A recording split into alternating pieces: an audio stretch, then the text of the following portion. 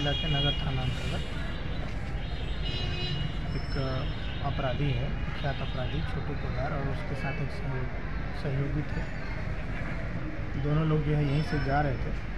उन्हीं लोगों को जो है गोली मारी गई और गंभीर रूप से जो है लोग घायल हो गए। और अभी जो सूचना मिल रही है कि उनका डेथ हो गया।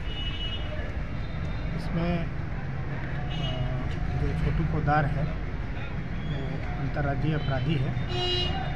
दर्जनों हत्या, लूट, डकैती के कांड जो है उस पर दर्ज अभी कुछ दिन पहले ही वो जेल से बाहर आया है, रंगाई के केस इसमें बहुत सारे एंगल हैं।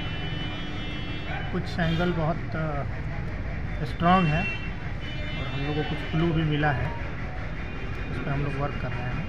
तो जल्दी हम लोग इस कांड का उद्घाटन करेंगे कितने की संख्या में अपराधी सर ऐसा कुछ पता चल पाया?